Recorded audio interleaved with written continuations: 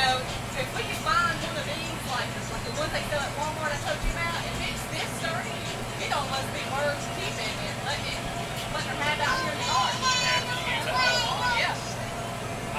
Yeah. One like this is several thousand dollars. Hey, but you know what?